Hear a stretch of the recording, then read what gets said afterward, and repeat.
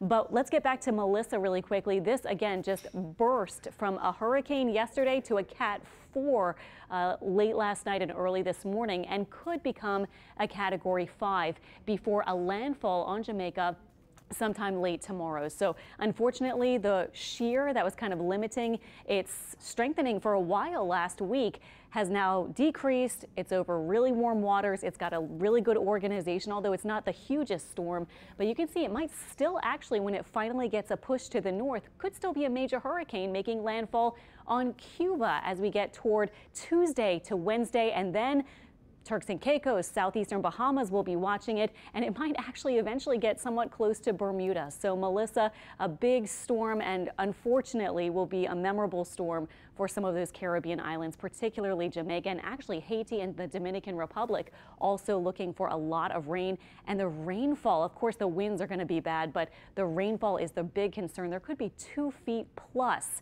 in some parts of Jamaica and maybe even close to two feet on the island of Hispaniola, Haiti and Dominican Republic. Republic as well. So here it is. This is finally that trough moving in and guiding out to the northeast, Melissa, and it'll kind of go between that trough and this big high. So that's why it will make that move pretty fast and it'll happen quickly out into the western Atlantic but not for a couple more days. So that's slow moving and very powerful storm. Just really a, a, concerning situation there around Cuba and particularly Jamaica and into Haiti, Dominican Republic, and maybe even Turks and Caicos and some parts of the Bahamas.